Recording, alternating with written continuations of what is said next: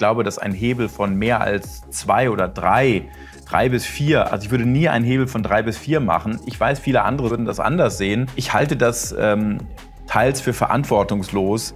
Vor allen Dingen gegenüber Anlegern, die nicht damit umgehen können und die auch einen Bullenmarkt mit Wissen verwechseln. Also ich meine, wahre Helden werden immer nur in Abwärtsphasen geboren und nicht in Aufwärtsphasen.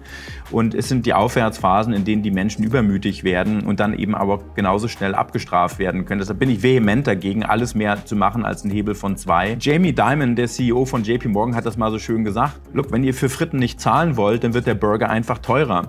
Mhm. Und, äh, und das ist in der Finanzindustrie natürlich ein Stück weit auch so, dass irgendwo wird man schon einen Weg finden, Geld zu verdienen. Und wenn äh, das Volk schreit nach irgendwelchen neuen Trends, dann gibt man ihnen diese Trends. Es muss halt nur nicht unbedingt das beste Investment sein.